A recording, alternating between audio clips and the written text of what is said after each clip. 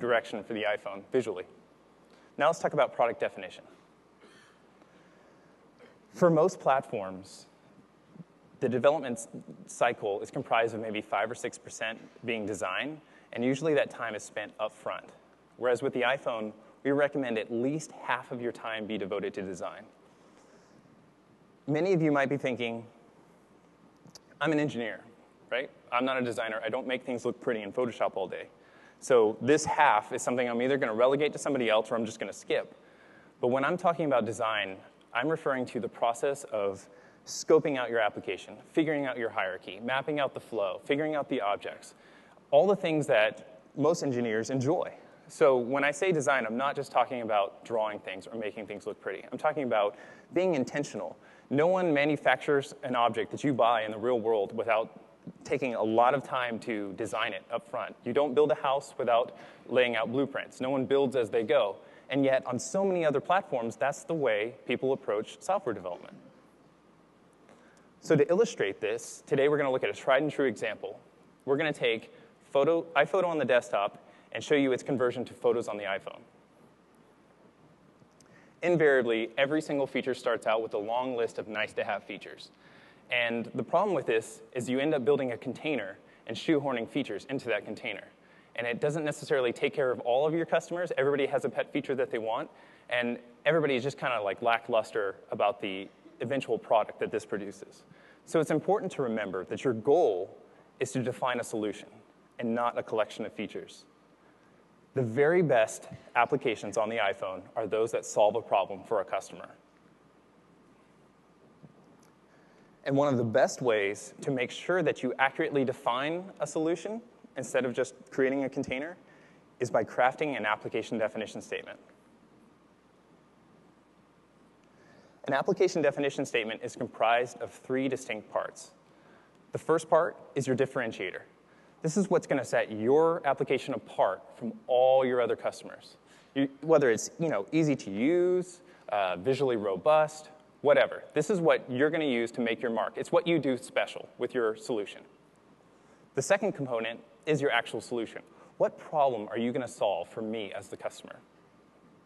And the final component is your intended audience. And it's really important that you be as precise as possible about who your intended customer is. If your intended customer were a traveling businessman and he spends most of his time inside the airport, then you'd want a very monochromatic, you know, very productivity oriented, scalable, clean application. But if your intended audience was a fireman and his context is a burning building, you're going to use, you know, honking buttons that say locate my teammates, locate me or whatever with overly saturated colors. So identifying who your intended audience is is supremely important in figuring out what your application is going to look like in the end. So here we have the application definition statement for iPhoto on the desktop. Easy to use digital photo editing, organizing, and sharing for casual and amateur photographers. You can see that easy to use is our differentiator. This is what's going to set iPhoto apart from competitors. It's easy to use. And we have three solutions inside of this ADS. Digital photo editing, organizing, and sharing. And our intended audience are casual and amateur photographers. And as small as this application definition statement is, that long list of features that you just saw were all the features required to implement this application definition statement. And this is the UI necessary to implement those features or those solutions. And as you can imagine, most of these would not map well to the iPhone. Uh, it would be very difficult to make these finger friendly. But more than that, when looking at our customers, looking at our users of iPhoto, of the three solutions, only one was prime. Only one was core to all of our customers. For instance, organizing, everybody loves that their photo, they want their photos to be organized. But very few people actually take the time to organize their photos. Most people just scroll through a long list, right? That's why we've come up with things like places, faces, and events to take that organization burden off of the user. An even smaller subset actually takes the time to edit their photos. In the digital age, film is cheap. So people take a lot of photos, and if they find one that they don't like, they just delete it.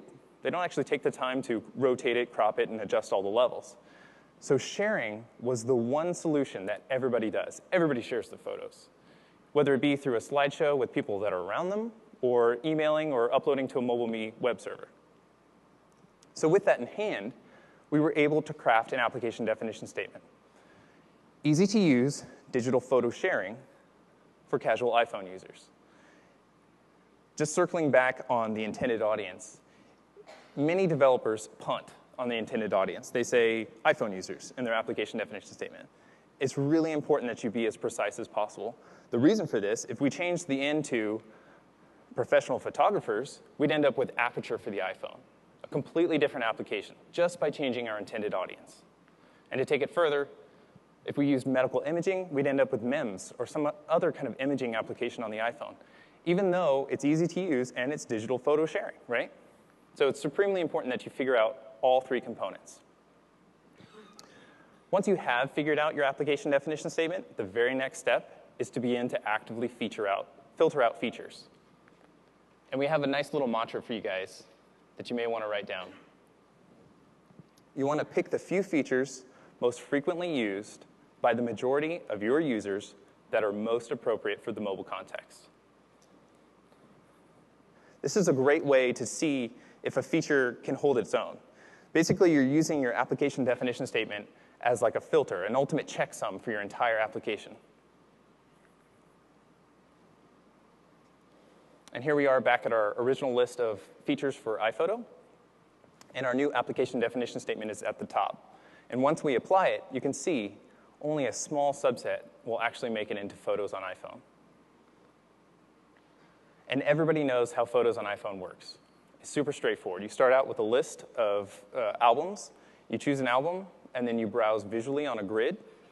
You see, you know, which, which photo might I be interested in, and once you tap one of these photos, you inspect that photo in full screen. And the toolbar at the bottom only houses actions that pertain to sharing, the solution that we're trying to provide. You can do a slideshow, you can skip through the, the photos, you can upload to a MobileMe gallery, and you can email the photos. And as simple as Photos is, it's one of the most valuable applications on the iPhone.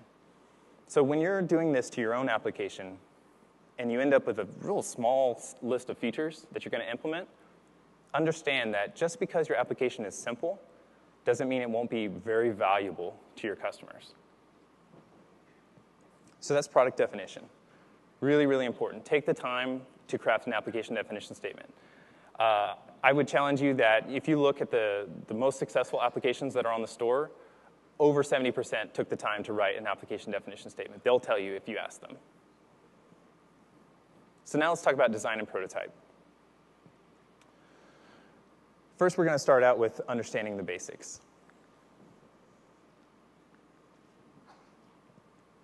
Here we have a great quote from T.S. Eliot you must understand the rules before you can break them. And how many of you knew that the next slide would be the human interface guidelines? There was a meme for a while that the HIG is dead. The HIG is not dead. In fact, it's very much alive, and it matters more today than ever, especially with the iPhone. The human interface guidelines contain a wealth of knowledge that has have been contributed to by our engineers and our designers. They've taken a lot of time to solve various edge cases for you and implement standardized controls that our customers are used to.